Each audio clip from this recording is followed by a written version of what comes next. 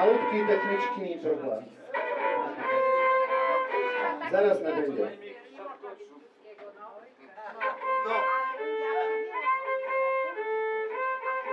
Ale ten był to 19 wiek jeszcze, nie? początek XIX wieku, no.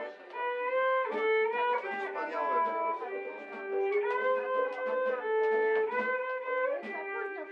Chwała się Alojzego, bo Długo nic nie nie robił. porwał strumu, tak nie ma trening.